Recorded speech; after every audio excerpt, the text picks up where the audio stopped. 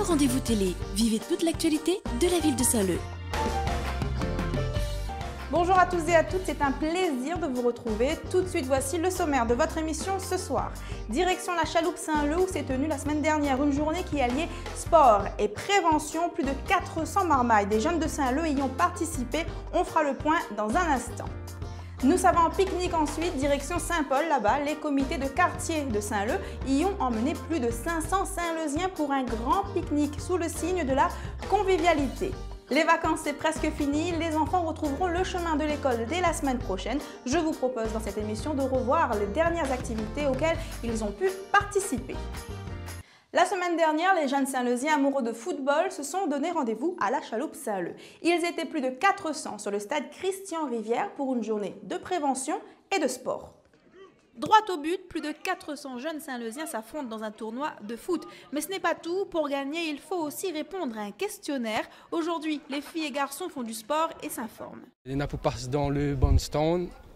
Il y en a bon stand à découvrir, bon train comme là, milieu, à gendarmerie, je suis bonne à faire mal. Réunissaf, en fait, c'est une association qui fait de la prévention auprès des femmes euh, enceintes euh, par rapport à l'alcoolisation fétale. C'est-à-dire que euh, pendant les 9 mois de grossesse, l'important aussi que la maman y connaît les risques qu'elle y encourt si elle y continue à boire ou si elle y met à elle à boire de toute façon. Et après, on a un peu de tout, c'est la violence physique et morale. On a eu des ateliers avec les milieux, la gendarmerie, expliquant-nous un peu le fonctionnement sur la drogue. Que de tout ça ben, comme il apprendre ce qu'il y a monté à nous, ben, je ne te connais pas en fait. En fait, moi, j'ai plutôt fait jouer au football, mais il est bien aussi que Banala apporte euh, une journée d'environnement, on a plein de choses que ne te connais pas, qu'on a découvert, comme euh, un peu des sites d'aventure, des trucs comme ça. Quoi. Tu découvert que tu ne connais pas ben, truc sida. Après, avec encore avec très dépistage. Pour cette neuvième édition, les jeunes défilent sur différents stands. Au programme de la prévention, diabète, maladies sexuellement transmissibles, violences domestiques et drogue. Les informations fusent et les jeunes s'intéressent. C'est aussi allier euh, des moments de rencontre entre ces garçons et filles, des adultes, euh, des partenaires aussi de la prévention de la santé pour euh, réfléchir à nos comportements, réfléchir à ce qu'on fait tous les jours, puis on apprend, apprendre plein de choses sur soi, sur comment on peut avoir une meilleure hygiène de vie. Là, on essaie de leur montrer qu'à travers une activité sportive, on peut avoir une vie beaucoup plus saine et donc notamment euh, sans euh, zamal, sans alcool et sans tabac. Quels sont les, gens, les dangers justement du zamal? Ah bah là, on leur explique tous les dangers, mais bon, ils les connaissent. Hein. C'est vrai qu'ils sont, ils sont assez bien informés, mais on va surtout assister euh, notamment au niveau des accidents de la route. Les parents, eux aussi, font du sport. Zumba pour les unes et volleyball pour les autres. C'est une super belle journée. On a commencé par un petit déjeuner collectif. Et ensuite, on s'est tous euh, rejoints au gymnase pour les équipes qui voulaient jouer au volleyball. Les joueurs de cette équipe sont arrivés premiers des filles et des garçons. Mais au final, les 400 jeunes qui aujourd'hui choisissent le sport sont tous gagnants. Hein, ça va 10 000 curieux, mais quoi ça, ça te l'a fait dimanche dernier. En tout cas, sur Saint-Leu, le comité de quartier prend plus de 500 Saint-Leusiens. Il a parti fait un grand pique-nique du côté de Saint-Paul. Un pique-nique placé sous le signe de la bonne humeur et de la convivialité. On y va. L'ambiance toit de l'île dans un bus incontournable des week-ends réunionnais, sauf que cette fois-ci, il fait pas le toit de l'île, il ça va pique-niquer. Manger, boire, rire, ben la fête un petit peu, voilà. Euh, comment dire ça? Déstresser quoi?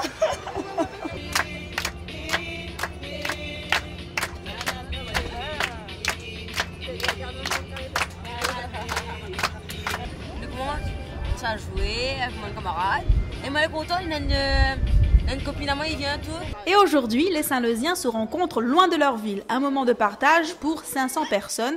À l'origine de cette manifestation, les cinq comités de quartier de la ville, une sortie qui rencontre un franc succès. On organise une sortie de bus selon la demande de la population. Et suite à ça, on essaye de faire en sorte de, de se resserrer les liens des quartiers au moins dans l'entente, au moins dans un moment de convivialité, où tout le monde y fait un petit pique-nique, on partage, tout le monde ensemble. Quoi. Coût de la sortie par personne, 1 euro. Une fois à destination, les enfants jouent et se font de nouveaux camarades. Les parents, eux, préparent le pique-nique. Un petit riz blanc, Attends-nous à monter à Après, il a fait un petit rôti. L'appétissant est très bon. À la fin de cet après-midi de détente, les Saint-Losiens y remontent dans le bus direction la maison. Les passagers de ce bus-là, eux, garderont de beaux souvenirs de cette journée.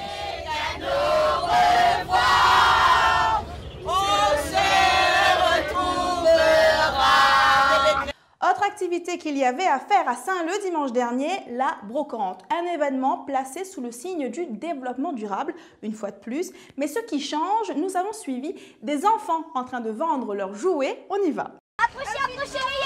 Environ 100 brocanteurs et c'est elle qu'on entend le plus. Naïma, 11 ans, a une mission, vendre ses doudous et autres jouets avant la rentrée. Son objectif, se faire un peu d'argent de poche maintenant qu'elle est une grande fille qui se prépare à aller au collège.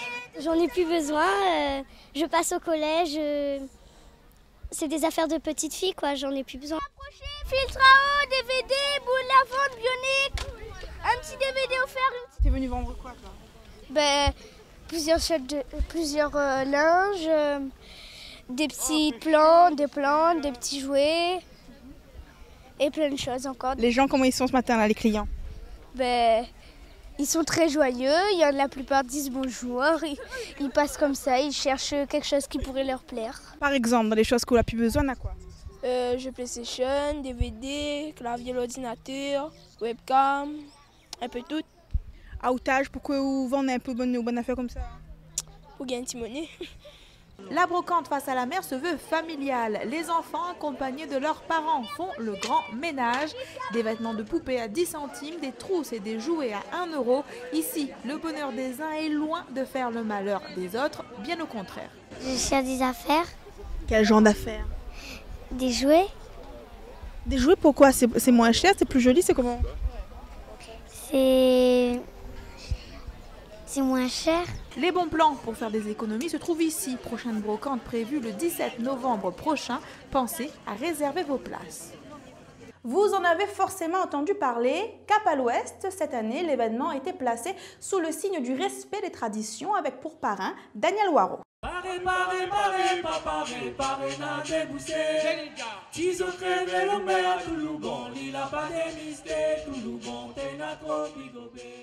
Au cœur du plat, la place Maxime Laop accueille le maloya traditionnel de Daniel Waro, parrain de la manifestation Cap à l'Ouest. Ici, des centaines de visiteurs se succèdent à la découverte de la Réunion d'autrefois, celle qui façonne notre mode de vie au quotidien. C'est le village d'animation qui propose avec les associations du Plat, donc des dégustations de méthodes traditionnelles, des démonstrations de savoir-faire. Il y aura aussi des animations, danse, chant, toujours avec l'implication des associations du quartier. Mais c'est surtout une manifestation dans le cadre de l'événement euh, qui s'appelle Cap à l'Ouest. C'est la destination euh, loisirs et activités de vos vacances. Bien bon. Mais nous propose un peu de tout, euh, des tapis mendiants, des à broderie, le crochet, et puis un petit peu de couture. Aujourd'hui, les associations du Plat sont à l'honneur et pour faire revivre les traditions d'antan, rien de tel qu'un bon carré, un peu de riz et un grain vert, le tout fait maison.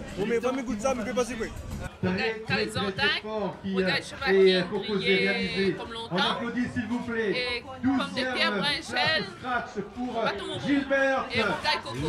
Dans les rues du Plat, un bœuf est de sortie. Nous l'a vu, là, nous l'a pas vu. Bon, et quand il parle en match, arrête pas, parce que je connais pas que j'étais les voix.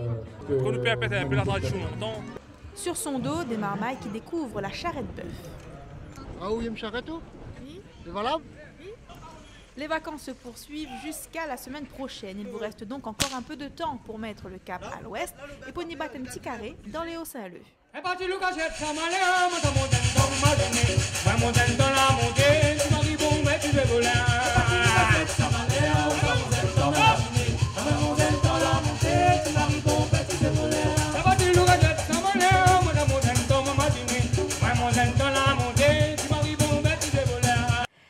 Disais en début d'émission, les vacances, c'est presque fini. Et oui, les enfants de l'association Contour Tamarin à Grand Fond ont participé à une activité qui leur a permis de découvrir l'histoire de leur quartier, l'histoire du réservoir de Stella, une activité qui a été faite avec les habitants du quartier. Je vous propose de la découvrir. Ça représente euh, le quartier de Stella, donc c'est quelque chose que moi j'ai vécu.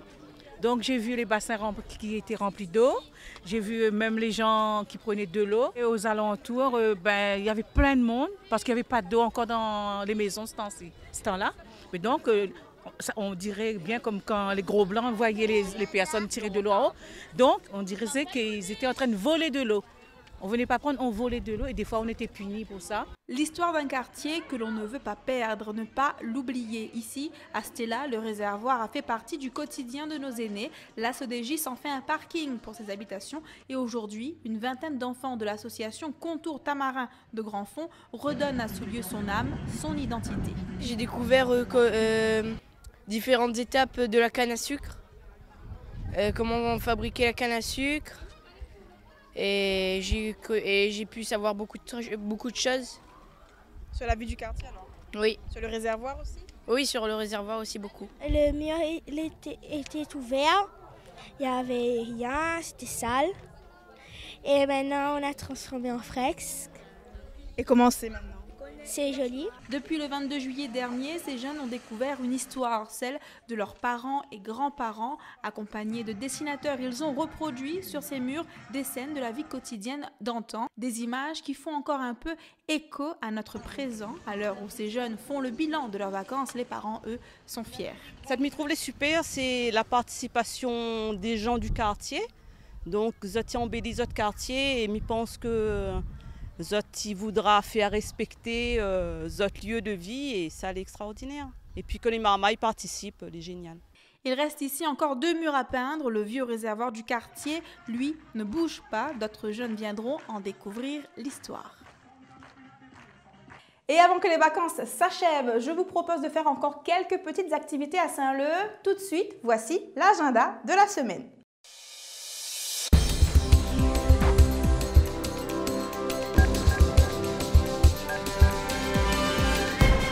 La troisième jeunesse saint-leusienne se prépare à bouger, à zouker, enfin bref, à danser à la salle des fêtes du Foirail. Mercredi prochain, le 21 août donc, rendez-vous pour le désormais traditionnel après-midi dansant organisé par le CCAS de la ville. Des bus gratuits sont mis à votre disposition. Départ à midi de la croisée de la Petite Ravine jusqu'au chemin Boussole. Autre départ, un bus qui ira cette fois-ci de l'échangeur de la route des Tamarins jusqu'à Grand Fond. Un autre bus vous attend chemin surprise celui-ci ira jusqu'aux 4 robinets et de Kélonia à Bois de Nèvles. Pour plus d'informations, n'hésite pas à appeler le CCAS 02 62 346 577 346 577.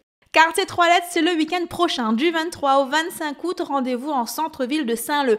Attrapez vos baskets et venez faire du sport. C'est l'occasion de découvrir de nouvelles disciplines et pourquoi pas vous inscrire dans un club. Samedi après-midi, Zumba géante sur la place de la mairie. Pour les pros, au programme, samedi 24, ne manquez pas les foulées nocturnes. 10 km à travers la ville de Saint-Leu, puis en soirée, un gala de boxe dans le gymnase. Sous le parc du 20 décembre, une patinoire vous attend et sur le front de mer, vous pourrez essayer du volet, du foot et du tennis au bord de l'eau. Côté musique, vendredi 23 août à la Ravine Saint-Leu, vous aurez le droit à un grand concert placé sous le signe de la musique antillaise et des rythmes de l'océan Indien.